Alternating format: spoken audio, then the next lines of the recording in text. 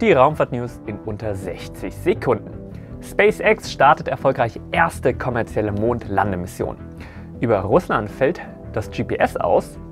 Die Vereinigten Arabischen Emirate werden ein Modul zur Mondraumstation Gateway beisteuern und hoffen so auf eine Mondlandung. SpaceX testet Starship 24 und hat Probleme mit den Merlin-Triebwerken.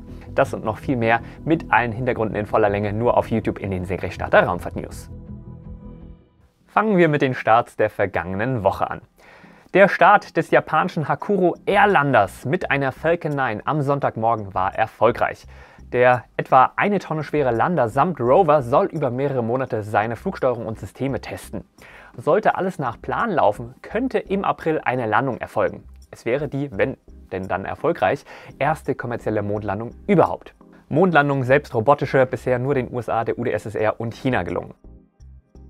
Am Montagmorgen um 9.22 Uhr MEZ ist von Jiquan aus eine Langer Marsch 4C mit zwei Technologieerprobungssatelliten gestartet. Am Dienstagabend ist zur besten Sendezeit eine Ariane 5 mit drei Satelliten für den geostationären Orbit von Kourou ausgestartet. Der Start der drittletzten Ariane 5 vor ihrem Ruhestand war ein Erfolg. Mit dabei auch der erste MTG-Wettersatellit der neuesten Generation. Am Mittwoch ist dann doch endlich die Suki 2 Rakete von Landspace zu ihrem Jungfernflug aufgebrochen. Es hätte der erste Orbitalflug einer Metherlox Rakete werden können. Da aber die Oberstufe versagte, kam es zu keinem erfolgreichen Orbit. Wie Space News berichtet, blieb eine geplante Triebwerkszündung der Oberstufe aus. Auch wenn sie noch nicht orbital ist, Landspace hat damit die erste kommerziell entwickelte Orbitalrakete aus China mit Flüssigtreibstoffen gestartet. Wie schnell ein weiterer Versuch unternommen werden kann, ist mir leider nicht bekannt. Vermutlich wird aber die Terran R von Relativity nun der nächste Startversuch einer Metalox Orbitalrakete sein. Am Mittwoch ist um 19.25 Uhr MEZ eine Langer Marsch 2D mit Yaogan Erdbeobachtungssatelliten von Xichang ausgestartet. Am Freitag, den 16. Dezember, wurde auch von Xichang eine Feststofflanger Marsch 11 mit Xi'an 21, einem Technologieerprobungssatelliten, gestartet. Auch am Freitag hat SpaceX für die französische CNES und die NASA mit SWOT, dem Surface Water and Ocean Topography Satellit, einen Erdbeobachtungssatelliten gestartet. Startplatz war die Vandenberg Space Force Base in Kalifornien. Nur wenige Stunden später von der Ostküste aus hat SpaceX seine Falcon 9 mit den Kommunikationssatelliten O3B mPOWER 1 und 2 gestartet für den Satellitenbetreiber SES. Und wenn die News am Sonntagmorgen erscheinen, sollte SpaceX am Samstagabend eine weitere Ladung Starlink-Satelliten in den Orbit geschoben haben. Startzeit wäre 22.32 Uhr gewesen und Startplatz das Kennedy Space Center mit PET 39A bevor wir zu den eigentlichen Raumfahrt-News kommen. Wenn dir das Video bis hier schon gefallen hat, lass dem Video gerne ein Like da. Und wenn du die spannenden Entwicklungen in der Raumfahrt nicht länger verpassen möchtest, ja, genau, unbedingt Senkrechtstarter abonnieren. GPS-Ausfall in Russland. Wie das Online-Magazin Wired berichtet, ist es in der vergangenen Woche in mehreren russischen Großstädten offenbar zu weitreichenden GPS-Störungen gekommen.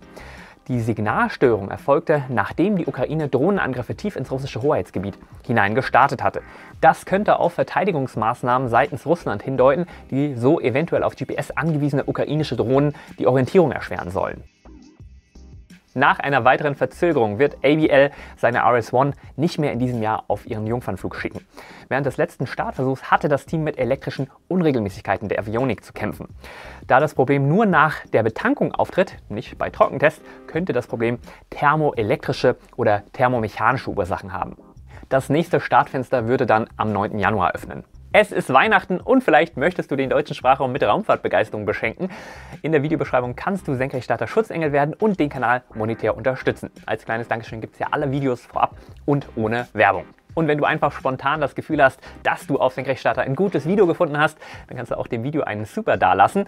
Vielen, vielen Dank an alle Senkrechtstarter draußen und frohe Weihnachten. Apropos Weihnachtsgeschenke, ja, großes Geschenk für alle Raumfahrtbegeisterten da draußen. Die NASA hat die Artemis 1 Mission erfolgreich beendet. Wir haben uns das am Sonntag auf Senkrechtstarter spontan live angesehen.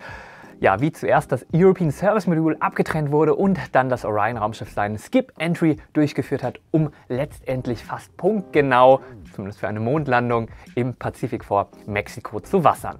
Das Ende dieses Mondfluges noch ohne Crew fand damit fast auf den Tag genau 50 Jahre nach Apollo 17 statt, dem bekanntlich letzten Flug von Menschen zum Mond. Es wird höchste Zeit, dass wir wieder losfliegen.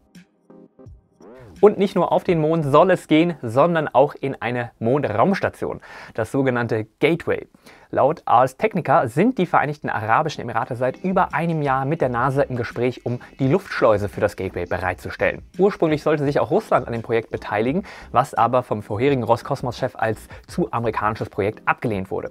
Die Vereinigten Arabischen Emirate verfolgen seit einiger Zeit ein ambitioniertes Programm, um Anschluss an die raumfahrenden Länder zu bekommen durch den Beitrag eines Gateway-Moduls und mit der Unterzeichnung der Artemis-Akkords, mit der die Amerikaner im Weltraum Tatsachen schaffen wollen, würden sich die Vereinigten Arabischen Emirate für Flüge zum Gateway und vielleicht sogar für die Landung auf dem Mond qualifizieren. Das Crew-Raumfahrtprogramm der Vereinigten Arabischen Emirate, das wurde 2017 ins Leben gerufen.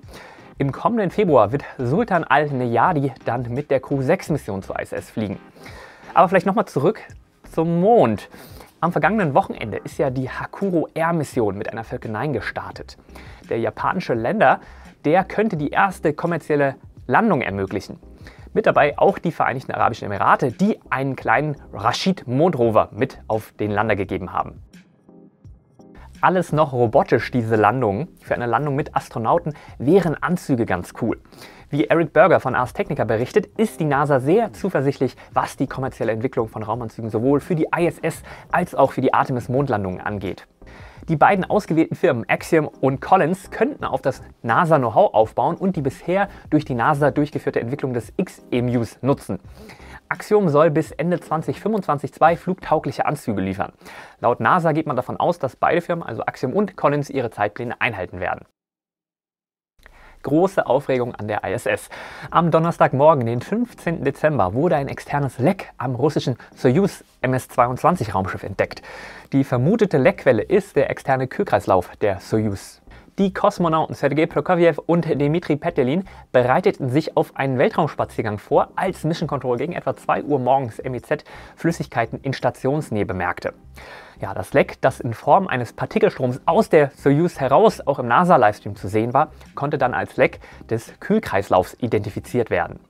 Die beiden Kosmonauten setzten ihre Vorbereitung für den Weltraumspaziergang zwar fort, blieben aber in der Luftschleuse, während dann Ingenieure am Boden das Problem weiter analysierten. Der Weltraumspaziergang wurde dann aber um etwa 4 Uhr morgens MIZ abgebrochen. Wie ihr hier auf der Super-Animation von Jared sehen könnt, besteht die Soyuz aus drei Teilen. Dem Landemodul, dem Orbitalmodul und dem Servicemodul. Zurück kommt nur das Landemodul. Das Leck befindet sich vermutlich an einem der Radiatoren am Ende des Servicemoduls. Man kann hier schon gut die Kühlschlangen unter der weißen Oberfläche erahnen. Ja, neben dem Antrieb der Tanks für Treibstoff und Sauerstoff sind auch die Batterien im Servicemodul untergebracht. Wenn dich das Soyuz-Raumschiff mehr interessiert, in der Videobeschreibung findest du einen Link zu Jareds hervorragenden Videos über die Soyuz. Die Soyuz MS-22 ist an das Rasvettenmodul der Internationalen Raumstation angedockt und soll eigentlich am 23. März 2023 die Kosmonauten Sergei Prokofjew und Dmitri Petelin sowie den NASA-Astronauten Frank Rubio zurück zur Erde bringen. Es gibt aktuell für sie keine Alternative im All. Wenn das Raumschiff trotz des Lecks für die Rückkehr geeignet ist, könnten sie eventuell die Station vorzeitig verlassen. Keine Kühlung im Weltraum, das ist eine ziemlich ernste Sache. Natürlich für die Astronauten, aber auch für die Elektronik und die Systeme der Soyuz. Das Leck wurde nicht aktiv verschlossen, sondern wurde, soweit wir wissen, erst gestoppt, als kein Kühlmittel mehr in diesem Kreislauf vorhanden war. Es wurde dann mit dem europäischen Roboterarm, der am russischen Segment der Station befestigt ist, das hintere Ende der Soyuz untersucht, wo sich ja wie eben beschrieben die Radiatoren am Servicemodul befinden. Das brachte jedoch bisher keine Erkenntnisse und soll jetzt noch an diesem Wochenende durch den Kanadam wiederholt werden. Wie Scott Manley in seinem Video kurz nach dem Zwischenfall berichtete, befindet sich die ISS aktuell im High-Beta-Modus. Das heißt, sie wird während ihrer gesamten Umlaufzeit von der Sonne voll beleuchtet. Das könnte ein Grund für das Leck sein, aber aktuell wichtiger, könnte es zum Überhitzen der Soyuz-Systeme führen. Die größte Sorge aktuell für die Rückkehr der Astronauten wäre die Überhitzung der Flugcomputer an Bord der Soyuz. Ohne den Flugcomputer müssten die Manöver zum Wiedereintritt manuell durchgeführt werden, was zwar möglich ist, aber ein Sicherheitsrisiko darstellt. Ja, weiter stellt sich die Frage, was die Beschädigung ausgelöst hat und ob andere Komponenten der Soyuz schon beschädigt sind. Wenn die Soyuz wegen der Beschädigung nicht für eine sichere Heimkehr geeignet ist, könnte Roskosmos auch die nächste Soyuz MS-23 ohne Crew autonom zur Station schicken. Aber das ist aktuell nur Spekulation. Die Mission war ja eigentlich erst für März geplant. Ich erwarte aber für Montagabend eine NASA-Pressekonferenz, die über die aktuelle Situation informiert. Kommen wir zu den SpaceX News. Ich hatte letzte Woche schon über mögliche Triebwerksprobleme an der Falcon 9 berichtet. Ja, jetzt wurde durch die NASA bestätigt, dass sich der Start des SWAT-Satelliten wegen feuchter Triebwerke verzögert hat. Nachdem die Falcon 9 auf der Startrampe in der Vandenberg Space Force Base in Kalifornien angekommen war, stellten die SpaceX-Teams Feuchtigkeit in zwei Merlin-Triebwerken des Boosters fest. Das Problem scheint aber mit dem erfolgreichen Start am Freitag gelöst worden zu sein. Und was macht das Starship-Programm? SpaceX hat eine tolle Drohnenaufnahme des aktuellen Static Fire Tests des Starship Prototypen 24 geteilt. Eine sehr ungewöhnliche, aber auch sehr geile Perspektive. Getestet wurde aber nur ein einzelnes Raptor-Triebwerk. Dass wir mit ziemlicher Sicherheit keinen orbitalen Startversuch mehr des Starships dieses Jahr erleben werden, ist, glaube ich, ausgemacht. Dennoch wird sowohl in Boca Chica als auch in Florida weiter an den Startanlagen gearbeitet. Ja, in Florida sogar direkt schon an der dritten, bevor überhaupt die zweite in unmittelbarer Nähe der Falcon-Starttrampe am Pet 39A fertig ist. Deutlich näher dran als ein Starship-Start sind die Starts der kommenden Woche. In der Nacht von Sonntag auf Montag, den 19. Dezember, steht der erste Start von Rocket Lab aus den USA an. Die Mission hat den treffenden Namen Virginia is for Launch Lovers. Am Mittwoch, den 21. Dezember, startet die europäische Vega C zu ihrem ersten Flug nach ihrem Jungfernflug. An Bord zwei Erdbeobachtungssatelliten aus dem italienisch-französischen Satellitenprogramm Orfeo. Ich kann mich ja hier mal als Opernliebhaber outen Orpheus, das war der Dude, der sich nicht nach seiner Geliebten umdrehen durfte und dann doch hingeschaut hat und sie dadurch für immer verloren hat. Ja, interessante Namensgebung für einen Dual-Use-Satelliten für unter anderem militärische Aufklärung. Aber vielleicht bezieht sich das ja auch auf den schönen Gesang von Orpheus, der ja sogar die Herzen der Götter erweicht haben soll. Che farò senza Euridice. Geplante Startzeit ist um 2.47 Uhr MEZ von Kourou aus. Hier geht nochmal ein großes Dankeschön an meine Schutzengel, die Senkrechtstarter durch ihre regelmäßigen Spenden monetär unterstützen. Ohne euch würde es Senkrechtstarter nicht mehr geben. Vielen, vielen Dank dafür. Als kleines Dankeschön bekommt ihr ja alle meine Videos vorab und ohne Werbung und auch die Interviews in voller Länge. Ihr helft wirklich aktiv mit, den deutschen Sprachraum für Raumfahrt zu begeistern. Hashtag TeamSpace. Ich kann es kaum erwarten, dass wir die nächsten großen Sprünge da draußen unternehmen. Unser persönlicher Apollo-Moment. Wenn es dir genauso geht, Like nicht vergessen. Bis zum nächsten Mal. Immer schön senkrecht bleiben. Dein Mo.